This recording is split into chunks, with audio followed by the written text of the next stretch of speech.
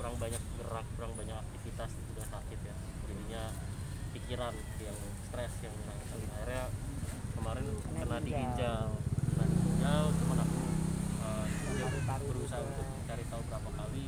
Soalnya paru-parunya juga tenggorokannya juga seperti apa namanya di pakai ventilator juga pakai nafas bantuan.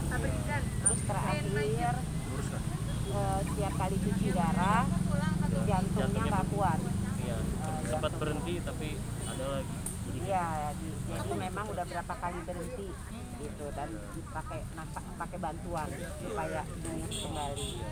Tapi tadi pagi jam 10.40 saya terima kabar dari istrinya dari Alma Bang Agam udah pergi. Tapi alhamdulillah kita sempat kalau Alif setiap malam pasti di sana. Hampir setiap malam Alif di sana. Pulang pagi ya.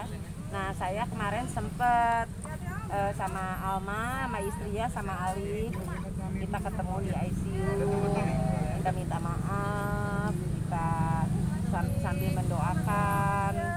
Bang Odi. Ya memang udah jalannya ya. Mohon dimaafkan.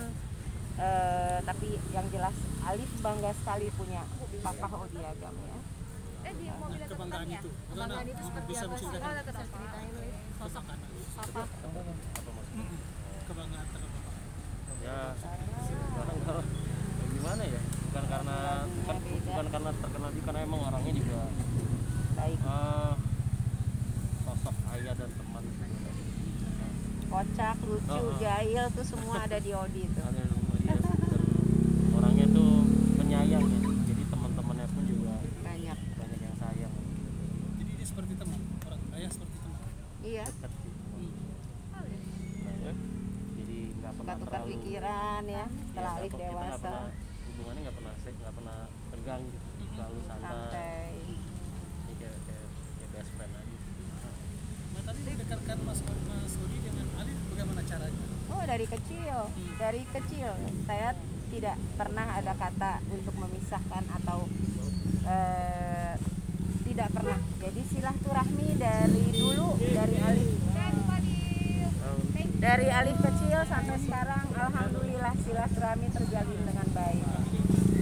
Alif, papa, sosok papa tuh suka menasehatin gak sih salah dekat seperti apa mungkin kalau papa tuh ada yang kenangan Alif papa yang nggak bisa dilupakan sama Alif dari kecil sama sekarang sholat lebih ke ibadah lebih ke ibadah sih kalau papa kayak sebenarnya kan orangnya nggak pernah ngelarang-larang banget ya orangnya santai gitu tapi ya gitu selalu ngingetin jangan lupa sholat jangan lupa ibadah sedekah zakat ke agama dan satu lagi papa ngedidiknya seperti itu ya Alif iya satu lagi jadinya ya rocker tapi apa ya alim gitu. Iya. Tapi papa sendiri ketika Alif terakhir ada komunikasi itu seperti apa sih? Terakhir ya papa sebelum masuk rumah sakit maupun sesudah rumah sakit itu? Masih bisa komunikasi nggak sama papa ketika papa di dalam ruangan? Enggak sih, kalau papa nggak bisa komunikasi, cuman dia dengar tempat. Aku sebutkan ini Alif gitu ya. Aku di sini bangun, matanya melek. Tapi cuman berapa detik doang habis itu tidur lagi. Tapi dia cari-cari tangan. Jadi dia sebenarnya tahu sih ada ada anaknya gitu tahu. Dan, dan mungkin semangatnya di situ. Cuman karena karena fisiknya udah gak stabil ya, jadi up and down dia. karena ini udah serangan yang ketiga Udah yang kan. ketiga.